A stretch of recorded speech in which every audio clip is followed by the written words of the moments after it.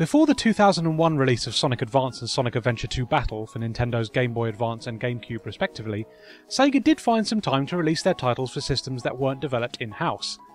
There's a fair few examples out there actually, but none are quite as bizarre as Sega's support of Tiger Electronics' R-Zone device. This was a portable system that contained a visor you strapped to your head, which had a hardwired controller dangling off it that you used to interact with the software. It's an obvious response to Nintendo's own Virtual Boy, and is probably a more successful product when it comes to portability, but the software itself basically amounted to their standard LCD titles being presented in a different format. You see, R-Zone games are reflected off a small plastic visor that folds out from the head-mounted unit. It's a novel concept and it sort of works if you've also placed something dark behind the visor. This stops the graphics from becoming washed out and difficult to see. However, if you're a specky four eyes like me, it can actually be quite difficult to wear the thing with glasses as well.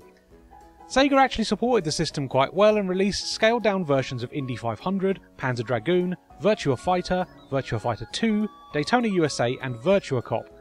The games themselves are sold on little cartridges which have a translucent window on them.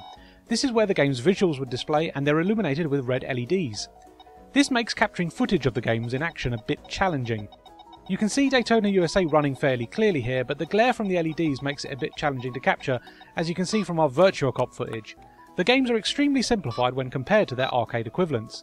Daytona USA is your standard LCD driving game with three lanes that you can move in and out of, with the main goal being to avoid other races and walls which your car is drawn to on corners. It's an extremely unresponsive game and accelerating has been ludicrously mapped to the up on the D-pad. Virtua Cop features a 4x4 grid which you can move your reticule around and fire at enemies that appear in the four spaces. You fire with one button and reload with another, a simple setup for a simple game. This one actually plays a lot better, but it's a bit on the easy side, which means you're unlikely to stick with it for very long. And that's really the problem with the R-Zone. All the software is based on those extremely simplistic LCD titles that never held your attention for longer than 5 minutes, and it's exactly the same here.